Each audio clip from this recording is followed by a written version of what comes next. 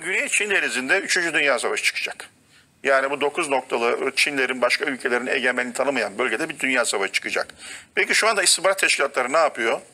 Doğu Türkistan'da Amerikalılar, İç Moğolistan'da Almanlar, Mançurya'da Japonlar, efendim Tibet'te, Tibet'te gene Amerikalılar, Hong Kong'da İngilizler ve e, Güney Kore'de e, insan hava araçlarıyla efendim tabi burada bu ülkeler iç ayaklama başlatmak için hazırlığa başladılar.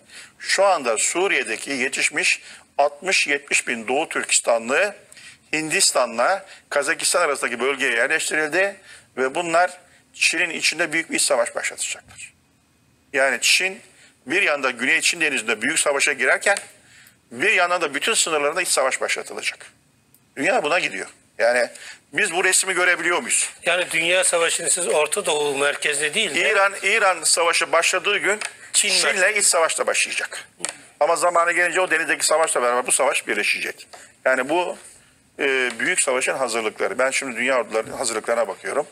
E, aslında 2018 İran'la savaşın başlamasıydı. Fakat şu ne kaçıncı olayı. bunu? Çünkü istedikleri teknolojiyi yakalayamadılar. Şu meşhur füze savunması var ya, onu bir türlü geliştiremediler. Bir, iki, Amerika'da para bitti. E, bu iş para ister.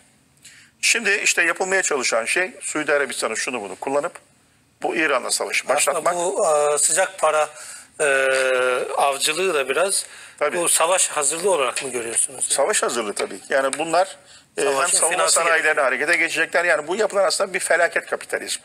Suudi Yani- Arabistan'daki bu değişimler hatta politika değişimleri Evet. hepsi bunların tamamı. İşte Arap NATO'sunun kurulması bilmem nesi falan. Bunların hepsi önce bir İran'da bakın şimdi e, Afrika bölgesindeki bütün ulus devlet yapılarını kırdılar. Hep karanlık bölge. Her yerde terör örgütleri var. Böyle gidiyor. Şimdi bizim güneyimizde Suriye'yi üçe bölüyorlar ya da beşe bölecekler. Irak'ı üçe bölecekler. Yemen bölünecek, o bölünecek, bu bölünecek. Suudi Arabistan'da bölünecek. İran'da bölünecek.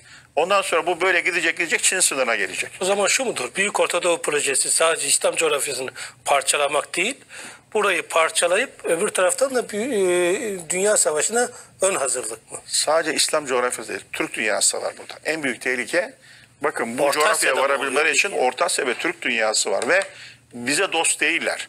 Buradaki amaç şu, küresel büyük sermayenin hedefi ulus devlet.